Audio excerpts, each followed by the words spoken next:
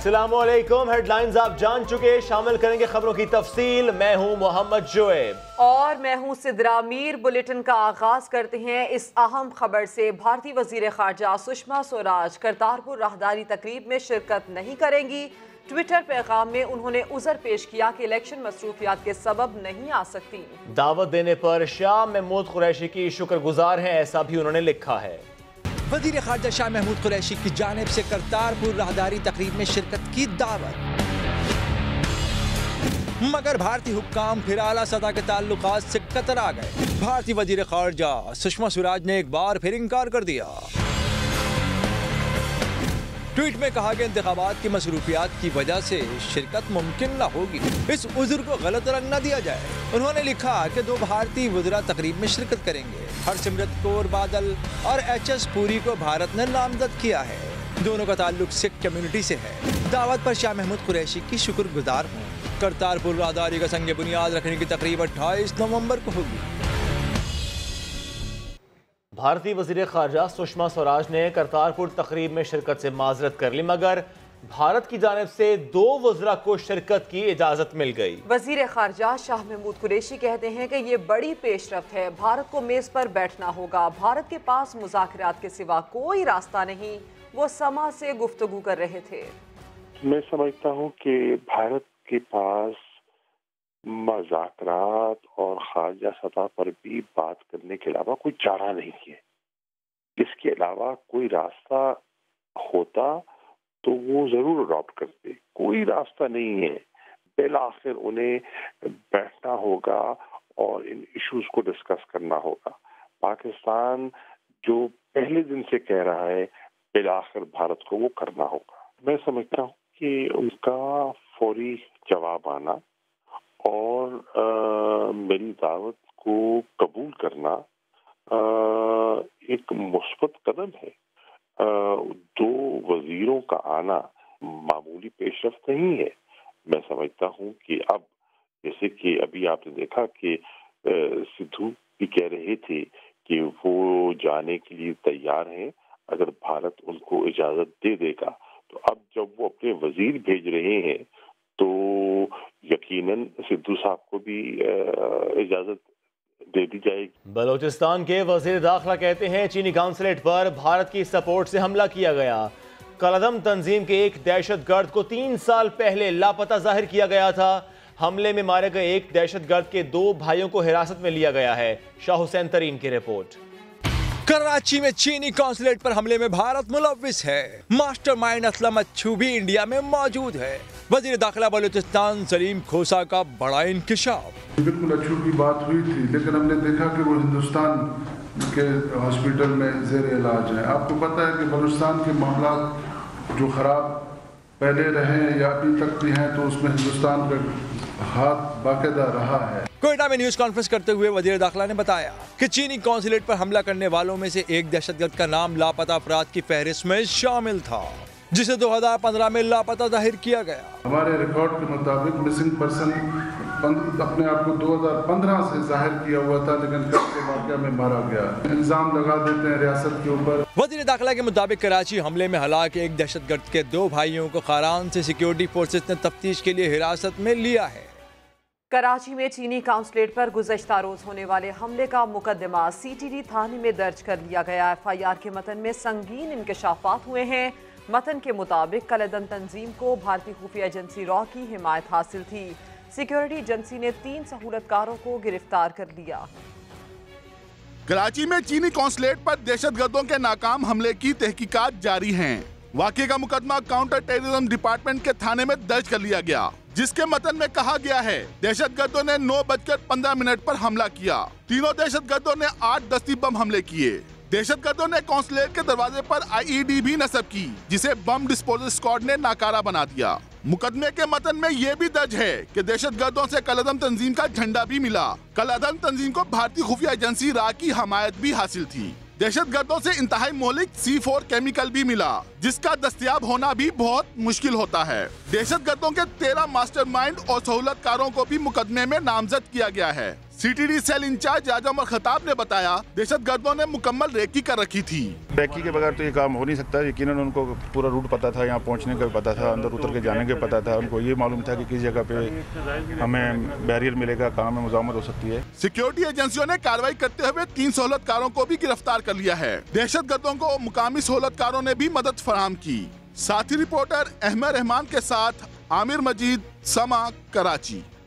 चीनी सफीर ने वज़ीर अला सिंध से मुलाकात करके सिक्योरिटी फोर्सेस की बर्वक कार्रवाई और उस पर हमला नाकाम होने पर शुक्रिया अदा किया। शुक्रिया, पाकिस्तान। चीनी सफीर याओजिंग ने वज़ीर आला सिंध मुराद अली शाह से मुलाकात की तो चीनी कौंसलेट हमले को नाकाम बनाने पर शुक्रिया अदा किया, जिस पर वज़ीर आला सिंध ने कहा, चीनी हमारे भाई हैं। आपकी सिक्योरिटी हमारे लिए बहुत अहम है। वज़ीर आला सिंध ने तमाम कौंसलेट की सिक्योरिटी की ऑडिट की भी हिदायत की। कहा कि दहशत गर्द बलूचिस्तान से आए थे। वज़ीर आला बलूचिस्तान से बात की है। हम मिलकर सिंध बलूचिस्तान बॉर्डर पर मजीद सख्त चेकिंग करने जा रहे हैं। दूसरी जानब, पुलिस की भारी नफरी ने फ्लैग मार्च भी किया ताकि शहरियों में तहफ़ का एहसास पैदा हो सके।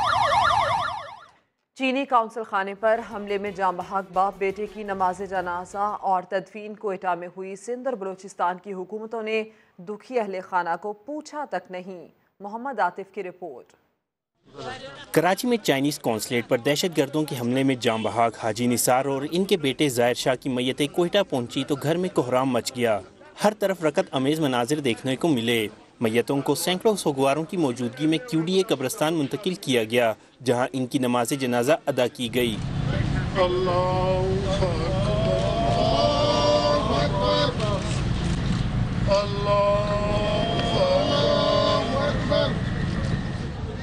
जामबाग अफराद के लवाहिकीन का कहना था कि उन्होंने अपनी मदद आपके तहत मैयतें कोयटा पहुँचाई। सिंध और बलोचिस्तान हुकूमतों ने कोई ताउन नहीं किया।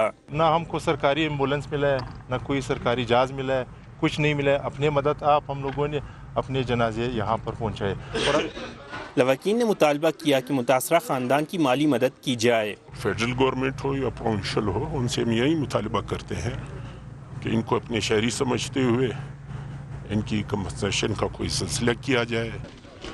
नमाज़ जनाजा की अदायगी के बाद हाजी न्याज और ज़ाहिर शाह को मनो मिट्टी तले दफन कर दिया गया।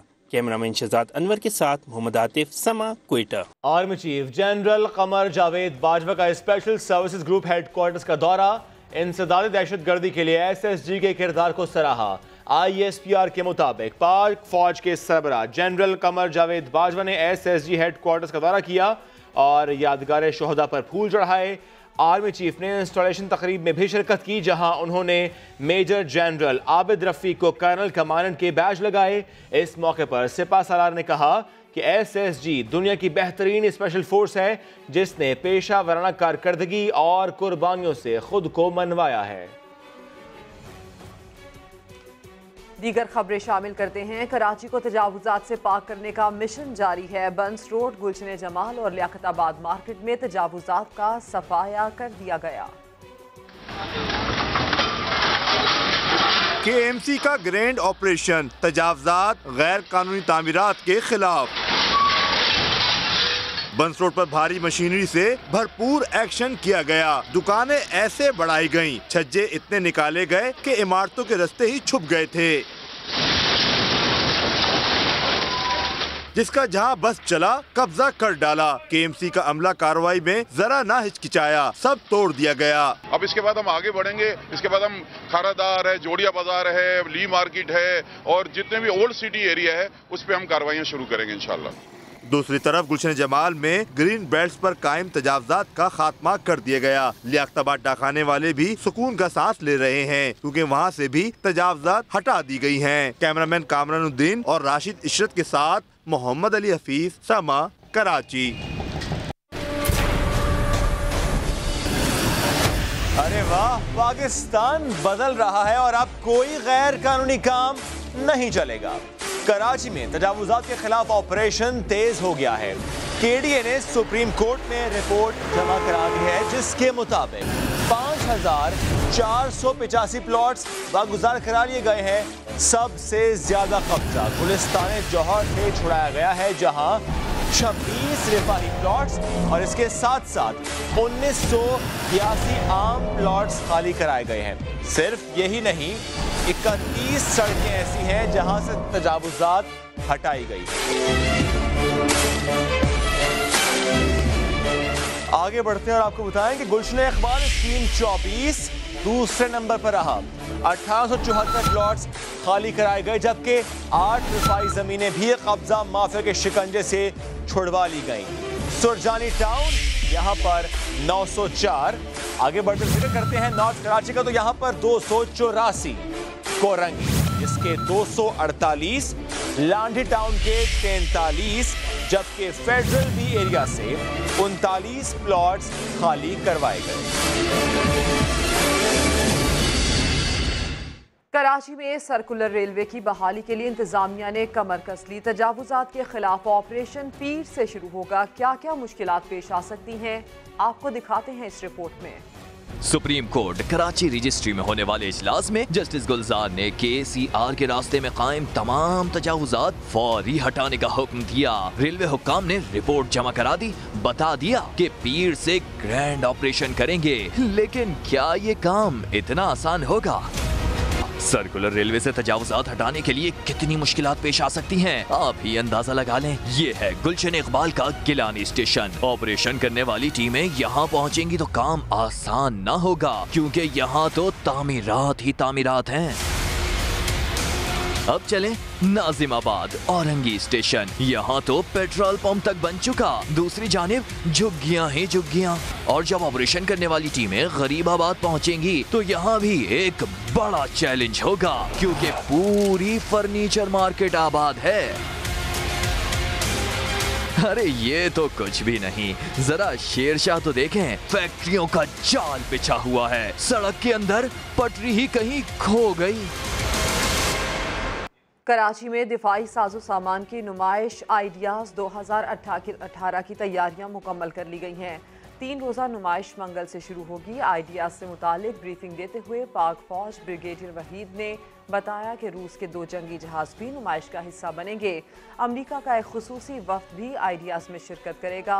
नुमाइश में पाँच सौ कंपनीज़ के स्टॉल्स लगाए जाएँगे। पचास ममालिक के दो सौ साठ मंदूबीन भी शिरकत करेंगे।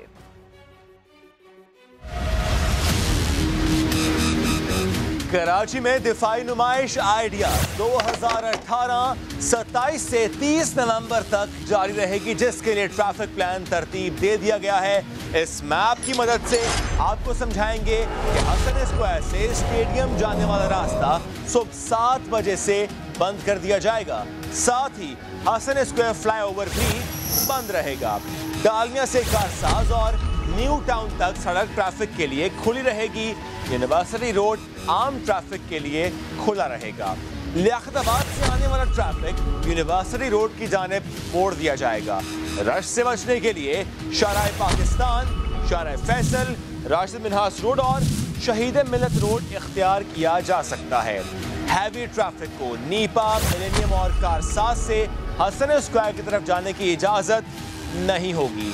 एक्सपो सेंटर के अतराफ पार्किंग की हरगिज इजाज़त नहीं होगी। हुकाम के मुताबिक रिहायशी अपना शनाख्ती कार्ड दिखाकर घर जा सकेंगे।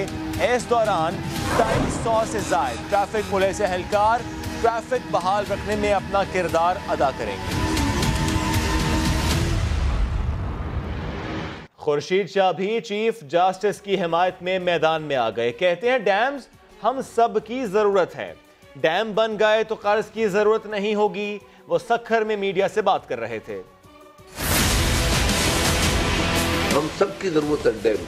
मैं तो लड़ता आया हूँ हमेशा डैम के लिए डैम बनने चाहिए, ज़रूर बनने चाहिए। इसके अलावा हमारे पास कोई रास्ता नहीं। जिस दिन हमारे पास पाकिस्तान में डैम बन गई, किसी से कर्ज लेने की ज़रूरत ही नहीं पड़ेगी पाकिस्तान जो उसकी कास्ट है, अभी तक हम पाँच परसेंट भी, पॉइंट फाइव परसेंट डेमो नहीं कर सकते मैंने उनको सजेशन दी कि आप खुद एक डायरेक्शन दे पीएसटीपी में, हुकूमत को कह दें कि भाई इसमें 10 परसेंट पी का डेम में डाल।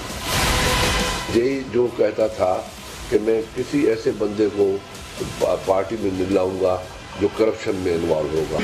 आज भी इमरान के साथ जितने लोग हैं 65 70 परसेंट वो लोग हैं जो परवेज मुशरफ की कैबिनेट में थे। कहा जाता था कि 200 अरब डॉलर अभी ला रहे हैं। कहाँ है दो सौ अरब डॉलर? अट्ठाईस तारीख को इनके दिन पूरे हो रहे हैं सौ। दिन अब देखते हैं कि उसने कौन सा कारनामा किया कितने बिलियन वो पाकिस्तान में लेके आए हैं। कराची एयरपोर्ट पर एक बार फिर पीआईए के तैयारे को हादसा पेश आ गया। दूसरे तैयारे को टक्कर दे मारी। किस तरह आपको दिखाते हैं इस रिपोर्ट में। पायलट की नाअहली कहें या हादसात की रीत। पीआईए के एक और तैयारे को हादसा पेश आ गया। कराची एयरपोर्ट पर पीआईए का तैयारा हैंगर से बाहर आ रहा था कि पीछे खड़े दूसरी निजी एयरलाइन के तैयारे को टक्कर दे मारी, जिसकी वजह से एटीआर तैयारे के एक पर को नुकसान पहुँचा। फिर क्या होना था? वही रिवायती शिकायत, तहकीकात। तर्जुमान पीआईए ने तो हादसे को इत्तेफाकी करार दिया। ये भी बताया की अमले के किसी रुकन को नुकसान नहीं पहुँचा। अलबत्ता तैयारे में कोई मुसाफिर नहीं था। हैदराबाद में तहरीक इंसाफ के रहनुमा के बेटे के कत्ल में नामजद मुलजिमान अदालत से फरार हो गए। हैदर शर की पुरस्कार हलाकत को एक माह गुजर जाने के बावजूद पुलिस कत्ल या खुदकुशी की गुत्थी सुलझाने में नाकाम रही। फकीर सलीम की रिपोर्ट। हैदराबाद में पीटीआई रहनुमा अयूब शर के बेटे का कत्ल। नामजद दो मुलजिमान की जमानत कबल गिरफ्तारी की दरख्वास्त मुस्तरद हुई। तो मुलजिमान पुलिस को चकमा देकर फरार हो गए। अयूब शर ने इल्ज़ाम लगाया कि पुलिस मुलजिमान से मिली हुई है। मेरिट पे जो है उनका जो है बेल है वो रद्द हुआ है और यहाँ पुलिस की सरबराही में उनको यहाँ से भगाया गया है। पुलिस के आला अफसर का कहना है कि मामले की तहकीकात कर रहे हैं। हम इन्वेस्टिगेशन कर रहे हैं एविडेंस कलेक्ट कर रहे हैं, शहादतें कलेक्ट कर रहे हैं।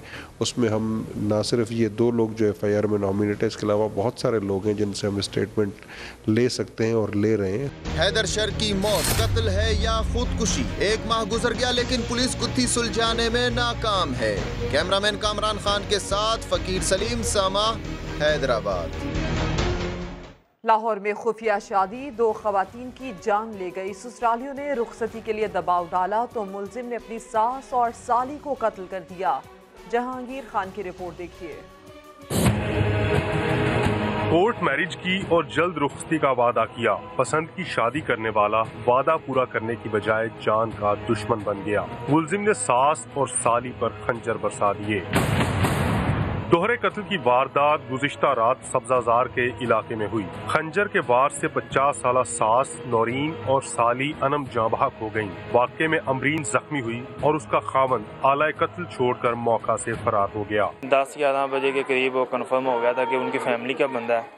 और रिश्ते के मामले में उसने कत्ल किया। इब्तदाई तफ्तीश के मुताबिक मुलजिम अहमद ने एक साल कबल वालदन से छुप कर अमरीन से पसंद की शादी की। लड़की की चार साल से उस लड़के से अंडरस्टैंडिंग थी और एक साल पहले उन्हें छुप के अपना कोर्ट मैरिज की हुई। अमरीन के मोबाइल फ़ोन से मिलने वाली तस्वीर और दीगर शवाहिद की रोशनी में तफ्तीश जारी है। कैमरामैन अली मुश्तबा के साथ जहांगीर खान समा लाहौर। आगे बढ़ते हैं। ननकाना साहब में बाबा गुरु नानक के जन्मदिन की तकरीबात में जज्बाती मनाजिर। क़याम पाकिस्तान के वक्त बिछड़े तीन बहन भाई मिल गए। भाई को देख कर बहनें आबदीदा हो गईं। बहनों ने कबूल इस्लाम के बाद लाहौर में रिहाइश इख्तियार कर ली थी। तिहाइयों जुदाई के बाद जब अपने गले मिले तो जैसे जब्त के सारे बंधन टूट गए। आँखें छलक गईं और जज्बात बहने लगे।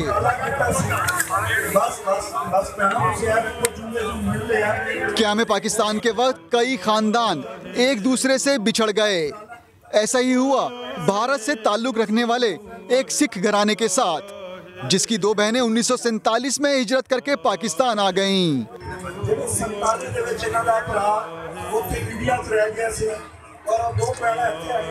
बहनों की तड़प और मोहब्बत ने भाई को सत्तर साल बाद ढूंढ निकाला।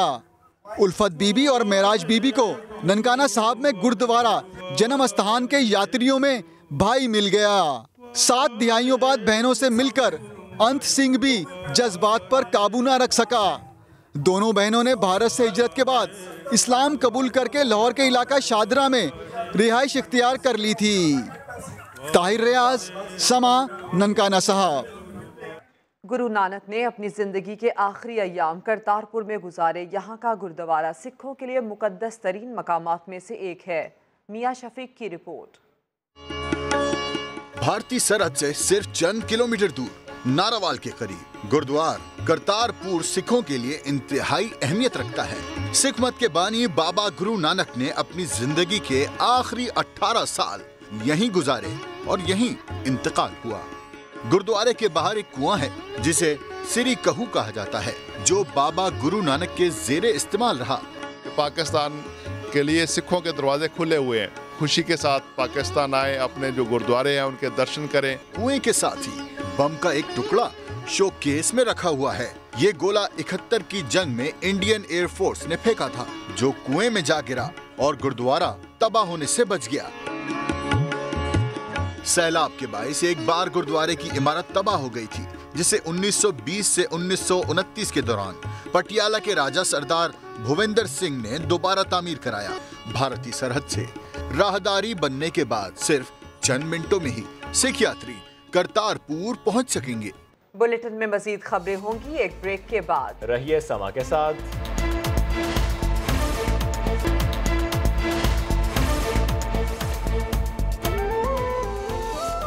वेलकम बैक वज़ीर आज़म इमरान खान ने बेघर अफराद को शेल्टर होम बनने तक खेमों में बसाने की हिदायत जारी कर दी हैं। फुटपाथ पर सोने वालों को खेमों में बसाने के साथ साथ खाना भी दिया जाएगा। वज़ीर आज़म इमरान खान ने वज़ीर अला पंजाब को हिदायत कर दी। ट्वीट के ज़रिए कहा कि सर्दी बढ़ रही है शेल्टर होम्स की तामीर तक फुटपाथ पर सोने वालों का हर मुमकिन ख्याल रखा जाए। पिशावर और कराची में भी मकाम का इंतखाब किया जा रहा है। गुजशत दिनों वज़ीर आज़म लाहौर में पहले शेल्टर होम का संगे बुनियाद रख चुके हैं। तकरीब से खिताब में वज़ीर आज़म ने सोशल मीडिया पर वायरल तस्वीर पर अफसोस किया था। इस तरह की तस्वीर देख के अगर लोगों के दिलों में अगर रहम नहीं है मैं समझता हूँ वो इंसान ही नहीं है। लाहौर में बेघर अफराद जहाँ आरजी खेमों में रहेंगे। वहीं पाँच मकाम पर शेल्टर होम्स भी बनाए जा रहे हैं। वज़ीर अजम इमरान खान ने खेमे और खुराक की पेशकश कर दी मगर लाहौर के मजदूर खुश नहीं हैं। वजह क्या है जानते हैं इस रिपोर्ट में। हमें खेमे और खाना नहीं काम चाहिए। लाहौर के मजदूरों ने वज़ीर आज़म की जानब से खेमे और खुराक की पेशकश पर अदम इतमान का इजहार कर दिया। कहा शेल्टर बाद में बनाइएगा। ਪਹਿਲੇ ਵਾਸ਼ਰੂਮਸ ਬਣਾ ਦੀਜੀਏ ਟੈਂਟਾਂ ਦਾ ਕੋਈ ਫਾਇਦਾ ਨਹੀਂ ਹੈਗਾ ਜਾਂ ਕਾਰੋਬਾਰ ਚੱਲਣ ਇਹੋ ਹੀ ਮਜ਼ਦੂਰ ਕੰਮ ਕਰਨ ਦੇ ਇਹਨਾਂ ਨੂੰ ਟੈਂਟਾਂ ਦੀ ਜ਼ਰੂਰਤ ਨਾ ਪੜੇ ਸਾਰਾ ਦਿਨ ਜ਼ਲੀਲ ਹੋਤੇ ਹੈ ਸ਼ਾਮ ਕੋ ਹਮ ਜਾਤੇ ਹੈ हमारे बच्चे हमसे खर्चा मांगते तो हम खर्चा ही नहीं दे सकते पंजाब के वज़ीर इतलात फैयादुल हसन चौहान कहते हैं एक करोड़ नौकरियों के मंसूबे पर काम कर रहे हैं। कल हमने अपनी कैबिनेट मीटिंग के अंदर इंडस्ट्रियल पॉलिसी अप्रूव की है जिसके मेन फीचर्स ये हैं कि तकरीबन पाँच लाख अफराद को सालाना हुनरमंद बनाया जाएगा। दूसरी जानब वफाकी हुकूमत ने कराची में फुटपाथ पर सोने वालों को भी उम्मीद दिला दी कि शेल्टर दिया जाएगा जबकि पिशावर में बेघर नशे अफराद के लिए नौजवानों ने अपनी मदद आपके तहत ही मुहिम शुरू कर दी। सफ़ाई की और खाना खिलाया। सरकारी मेहमान खानों के मुस्तकिल मेहमानों की अयाशियाँ खत्म। तीन रोज में कमरे खाली कराने का हुक्म दे दिया गया। वज़ीर अला पंजाब उस्मान बुजदार की हिदायत पर मुल्क भर में मौजूद पंजाब हाउसेज में तवील मुदत की बुकिंग मनसूख कर दी गई। इस्लामाबाद, रावलपिंडी, मरी और कराची में मौजूद पंजाब हाउसेज में मुस्तकिल या लंबी मुदत से मुकीम अफराद को कमरे खाली कराने की मोहलत दी गई है। इन मुस्तकिल मेहमानों की वजह से पंजाब हाउस में सरकारी अफसरान और अरकान असम्बली को आरजी रिहाइश हासिल करने में मुश्किल का सामना करना पड़ता था। गवर्नर सिंध इमरान इसमाइल ने हज़रत अब्दुल्ला शाह गाजी के मज़ार पर हाजिरी दी है। गवर्नर ने गरीबों में कंबल और खाना तकसीम किया है। यासिर हुसैन से मजीद बात करेंगे। यासिर, बताइए। जी हाँ बिल्कुल। देखें गवर्नर सिंह जो है, वो अब्दुल्ला शाह गाजी के मज़ार पहुँचे। उनके हमरा जो है, सलानी वेलफेयर के सलानी वेलफेयर इदारे से भी कुछ लोग मौजूद थे। जबकि उनका कहना यह था कि जितने भी गरीब जो लोग हैं, जो फुटपाथों पर सोते हैं, उनके लिए वज़ीर आज़म की हिदायत पर हिदायत पर जो है, वो एक शेल्टर होम जो है, वो बनाया जाएगा, जिसके सिलसिले में जो है वो हमारी बात हुई है कराची पोर्ट ट्रस्ट से ज़मीन के जिनसे जो है वो हमने ज़मीन भी ले ली है, उसकी तामीर का सिलसिला जल्दी शुरू कर दिया जाएगा। जब तक जो है एक टेंट का इंतज़ाम किया जाएगा, जिसमें जो है इन गरीबों को सर्दी से बचाने के लिए उस टेंट में शिफ्ट किया जाएगा। जबकि मैं आपको बताऊँ कि अब्दुल्ला शाह गाजी पे गवर्नर सिंध और सलानी वेलफेयर के इदारे के जो लोग थे, उन्होंने हाजिरी भी दी, चादर चढ़ाई और फूल चढ़ाए जबकि नीचे गरीबों में उन्होंने कंबल और खाना बांटा है। जी। ठीक है, तफसील फराहम करने के लिए आपका शुक्रिया, यासिर। कराची की शाहराहों इमारतों और पार्क से बानी एम केम और अहल खाना के नाम हटाने का फैसला कर लिया गया है। सिंध हुकूमत ने नाम की फौरी तब्दीली के लिए मुतल हुकाम को खत लिख दिया है। संजय साधवानी की रिपोर्ट देखिए। शाहराहें पार्क इमारतें अस्पताल जो जगह बानिए एम के एम और उनके घर वालों के नाम पर हों उनके नाम तब्दील किए जाएँ। सिंध हुकूमत ने मुतल हुकाम को खत लिख दिया। तब्दीली की लिस्ट में बानिए एम के बेटी के नाम से साइट एरिया का अफजल ता फ्लाई ओवर वालदा के नाम पर अजीजाबाद खुर्शीद मेमोरियल हॉल। गुलशन इकबाल में चचा के नाम पर इफ्तार हुसैन पार्क। गुलशन इकबाल ही में भाई के नाम पर Nasir Hussain Park. Federal B Area में वालिद के नाम पर नजीर हुसैन अस्पताल भी नाम की तब्दीली की लिस्ट में शामिल है। अब ये मकाम समाजी खिदमात और मुख्तलिफ़ शोबा जात में नुमाया काम करने वाली शख्सियात के नाम से मंसूब होंगे। संजय साधवानी समा कराची। कुछ मजीद खबरें होंगी लेकिन इस ब्रेक के बाद रहिए हमारे साथ।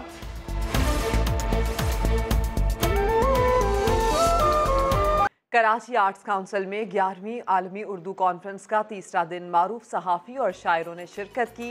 कॉन्फ्रेंस का अहवाल जानते हैं सादुर रहमान से। ये महफिल है अदब के दीवानों की। ये तितली ये धुआँ यूँ ही नहीं है।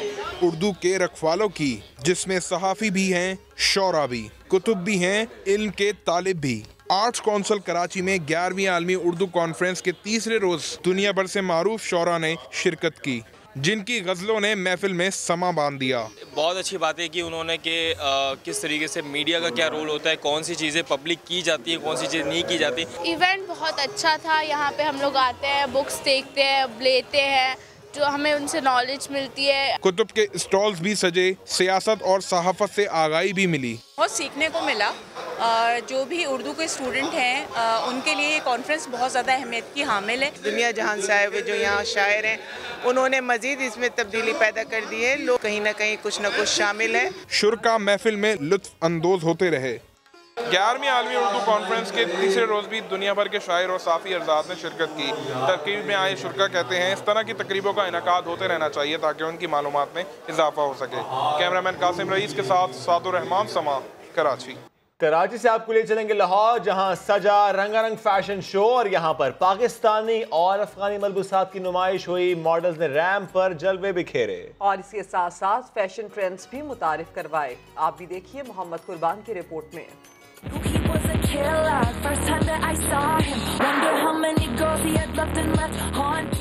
लाहौर में सजने वाले फ़ैशन शो में सिर्फ़ मॉडल्स ही खूबसूरत नहीं बल्कि पहनावे भी दिल फ्रेब हैं झिलमिलाते मलबूसात फ़ैशन की दिलदादा खवातीन पर जादू कर गए। शो में शरीक मॉडल्स ने चांदी से बनी अफगान ज्वेलरी भी पहनी, जिसने मलबूसात की खूबसूरती और बढ़ा दी। फ़ैशन शो में मॉडल्स ने रवायती और मॉडर्न पहनावे, शायकीन के सामने पेश किए। अमरीकी कौंसलेट के ताउन से सजने वाले इवेंट का मकसद पाकिस्तान और अफ़गानिस्तान के लोगों को एक दूसरे के करीब लाना है। कैमरामैन जवाद याहिया के साथ मोहम्मद कुर्बान समा लाहौर। ये खबर दोबारा देखनी है तो विज़िट कीजिए हमारी वेबसाइट समा डॉट टीवी। इसके अलावा राय दीजिए फेसबुक और ट्विटर पर। एक ब्रेक के बाद हाजिर होंगे हेडलाइंस के साथ। आप देखते रहिए समा।